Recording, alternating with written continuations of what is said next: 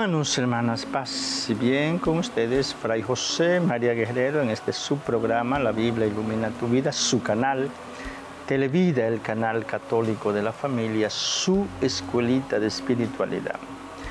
Hermanos, hermanos, hoy celebramos una memoria hermosa que pienso que debería llevarse a una fiesta fiesta porque se trata de los, de los abuelitos de Jesús, los padres de María Santísima, San Joaquín y Santa Ana.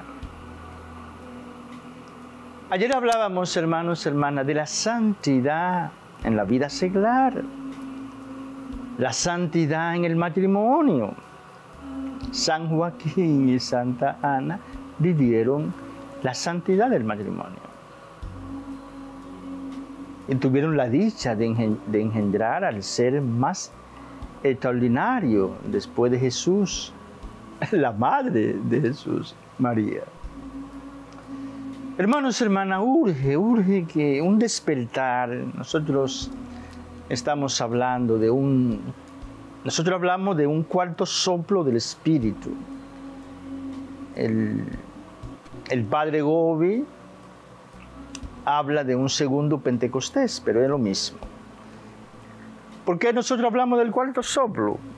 Porque en el Nuevo Testamento hubo tres grandes soplos.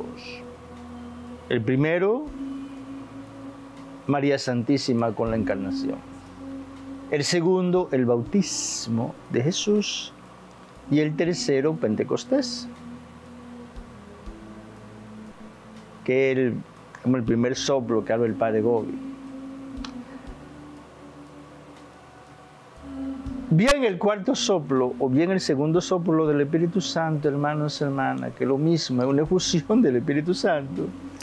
Debemos acelerar que esto llegue. El padre Gobi dice, yo me, me alegro de que ayer mismo dialogando con una mujer joven, eh, madre de dos hijos, que tiene un ministerio y que están rezando el cenáculo en los hogares, por los hogares, todos los sábados.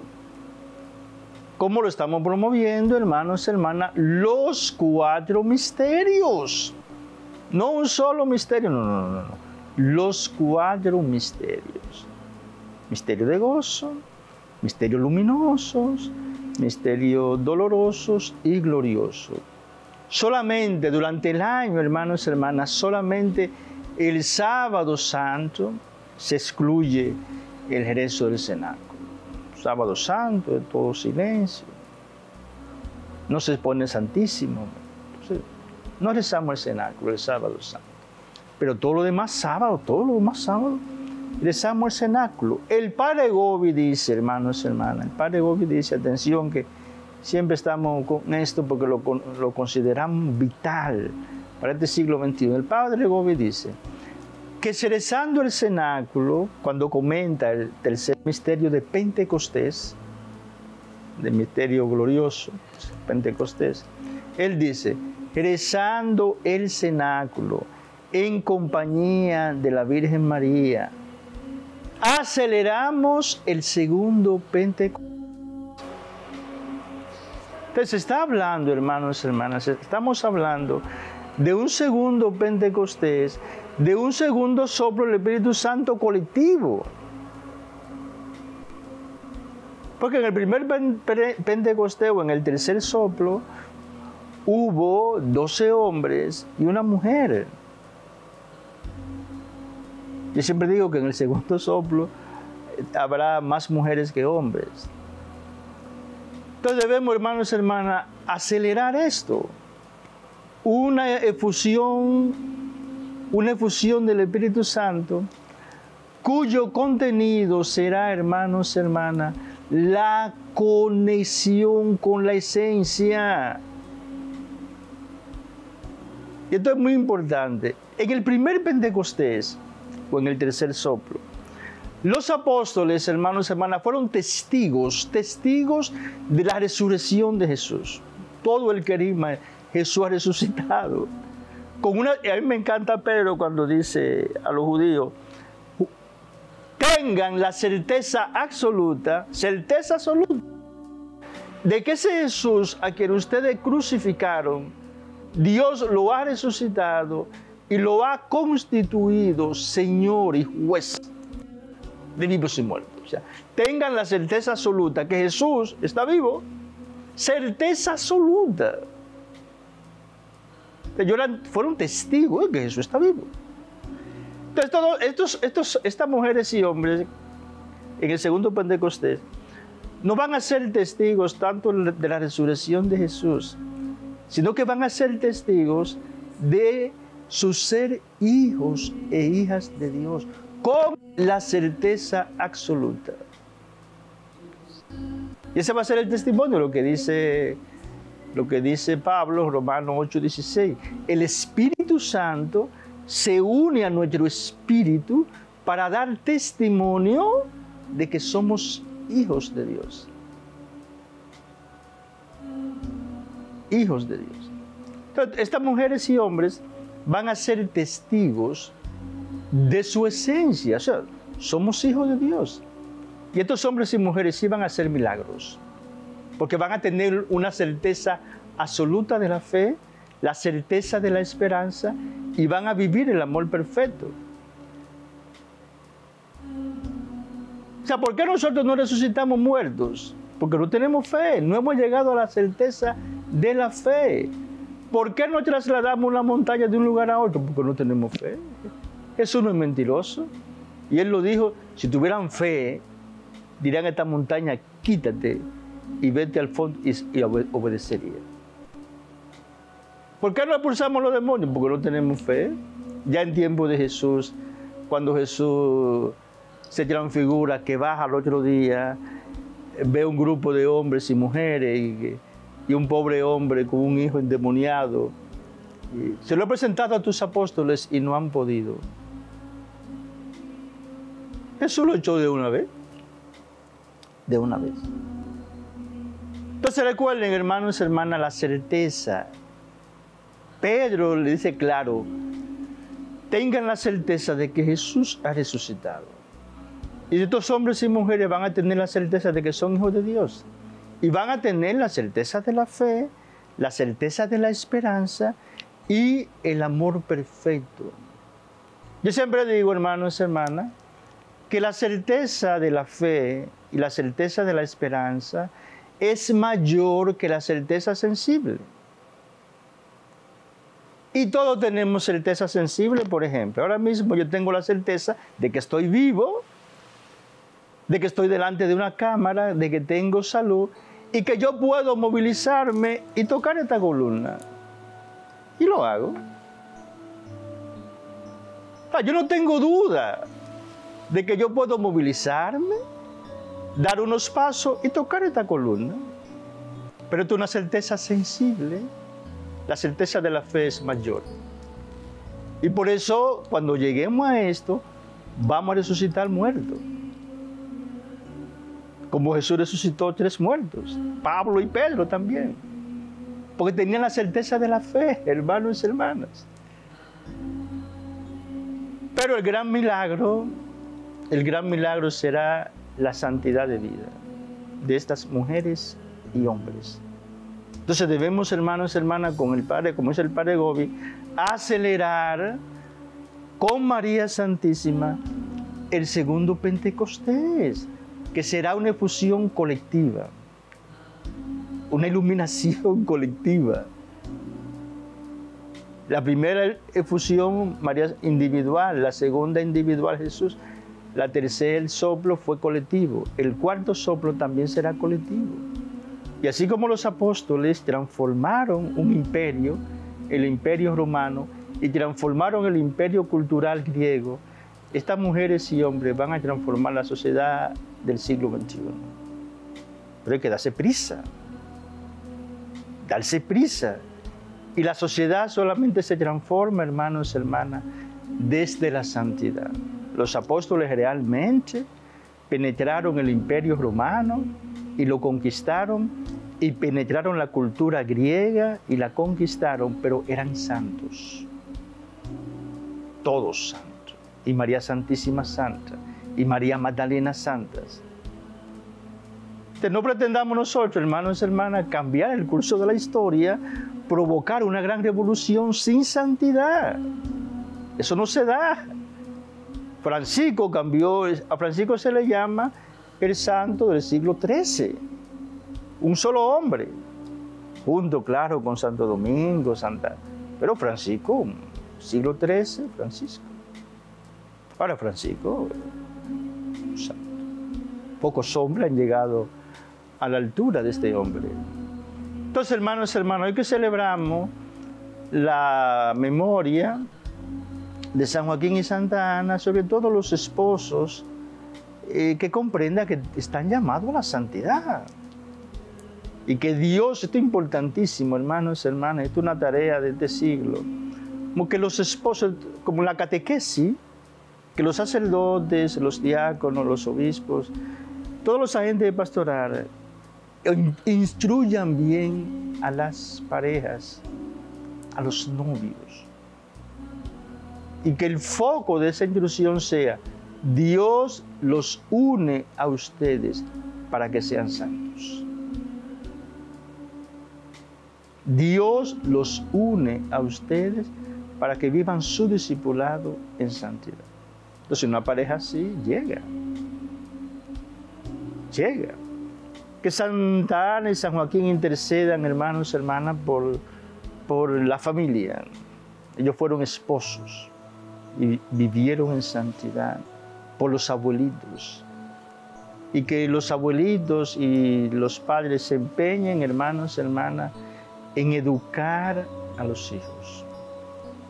Educar a los hijos en la santidad.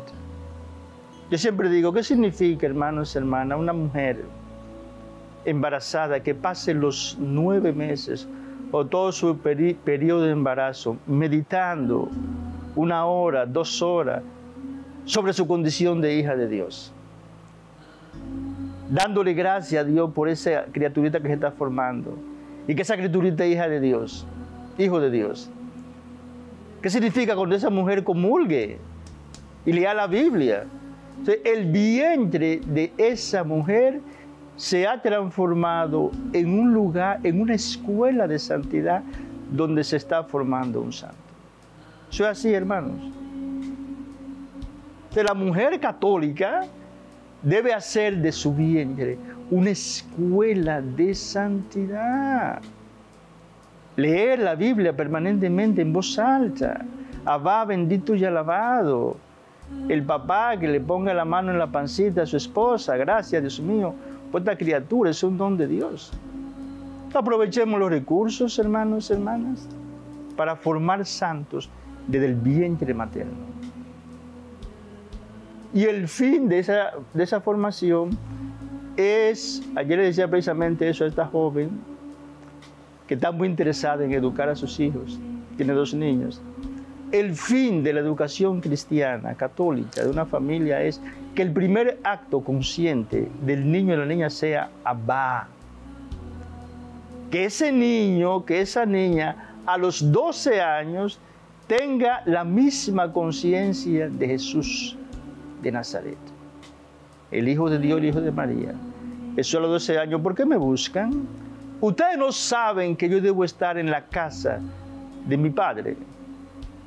Jesús era totalmente consciente de que esa mujer era su mamá biológica, María, de que José es su papá putativo, pero Jesús era más, más consciente de que el yo soy el que soy eterno era su papá es el fin de la educación cristiana católica. Ya formar niños iluminados, santos, que sepan quiénes son hijos de Dios. Y eso no es tan difícil, hermanos, hermanas, si aprovechamos la educación desde el primer instante que la mujer sepa que está embarazada. Y repito, pensemos eso, una mujer durante todo su embarazo haciendo meditación leyendo la Biblia, recibiendo el cuerpo y la sangre de Cristo. Toda esa energía de luz, de paz, se le transmite a esa criaturita. Y toda su sensibilidad religiosa se va a potenciar por la santidad y la vivencia espiritual de su papá y de su mamá. Hermanos, hermanas, papá Dios lo ha hecho todo bien, de monoprisa. Esos jóvenes católicos que se casan, que comprendan que su vocación es la santidad, engendrar hijos e hijas en santidad y educarlos en la santidad. Y tendremos, hermanos, hermanas, miles de santos y santas en República Dominicana, con una adecuada y excelente educación. Que Santa Ana y San Joaquín intercedan para que así sea. Señor mío y Dios mío, creo firmemente que estás presente en la hostia sagrada, en la plenitud de tu amor, en la plenitud de tu poder en la plenitud de tu divinidad. Creo en ti y te adoro. Creo en ti y te adoro.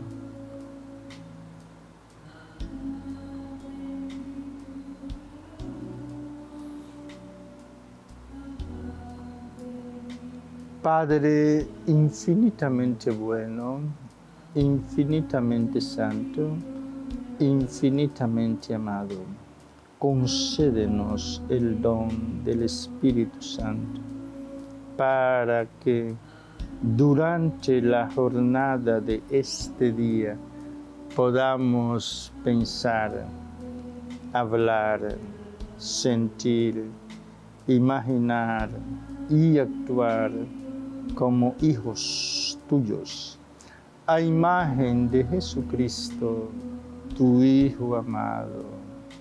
Amén. Amén. Silencio, intimidad, presencia, adoración.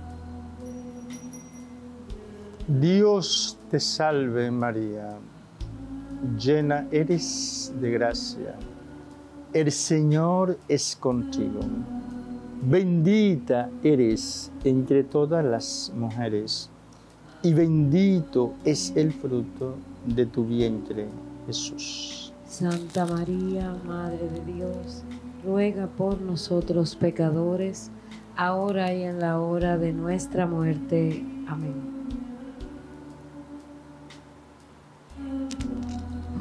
Gloria al Padre, al Hijo y al Espíritu Santo. Como era en un principio, ahora y siempre, por los siglos de los siglos. Amén.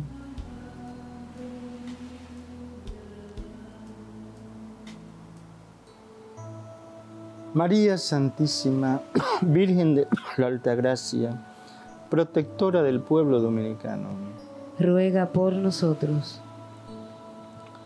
María Santísima, Nuestra Señora de las Mercedes, patrona del pueblo dominicano. Intercede por nosotros.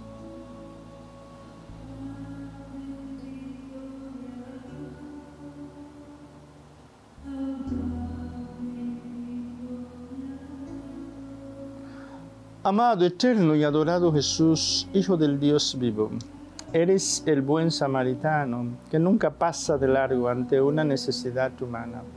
Te suplicamos por la intercesión de María Santísima, por la intercesión de San José, de nuestras constelaciones de amor, que esa plenitud de gracia que brota de tu misterio pascual que celebramos la Santa Eucaristía, sea eficaz en nuestras vidas tú que vives y reinas por los siglos de los siglos. Amén. Jesús, en ti confío. Jesús, en ti confío. Jesús, en ti confío. Jesús, en ti confío. Jesús, en ti confío. Jesús, en ti confío.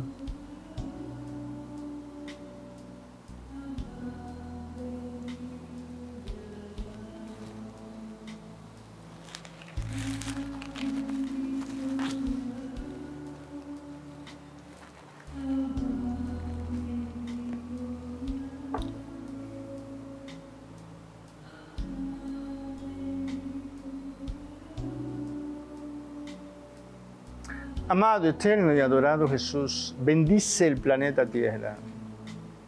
Bendice a cada ser humano que lo habita. Y acelera en nosotros la hora de la santidad, del despertar, de la iluminación, de la conexión con nuestra esencia.